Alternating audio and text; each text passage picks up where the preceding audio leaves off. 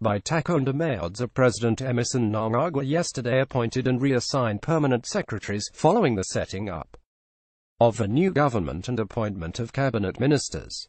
Desire Sibanda The changes were announced by Chief Secretary to the President and Cabinet Dr. Misheck Sibanda in a statement to the Herald.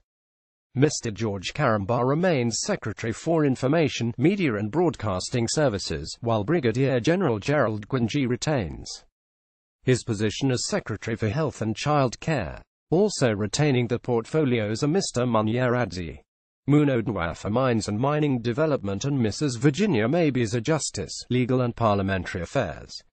Ambassador Joey Bimha has been appointed Secretary for the renamed Ministry of Foreign Affairs and International Trade, while Dr. Sylvia Utete-Masango retains her position as Secretary for Primary and Secondary Education. Dr. Chitepo remains Secretary for Tourism and Hospitality Industry and Mr. Melusi Matshiya is Secretary for Home Affairs and Culture. Engineer Sam Kundishora is Secretary for Information, Communication and Cyber Security, while Mr. Willard Manungo remains Secretary for Finance and Economic Development.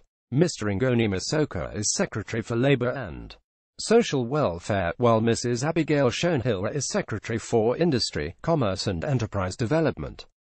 The Herald, Emmerson Mnangagwa Permanent Secretary's previous post ed appoints new CIO boss next post government seeks to bring back local currency support Nehanda Radio Donatia.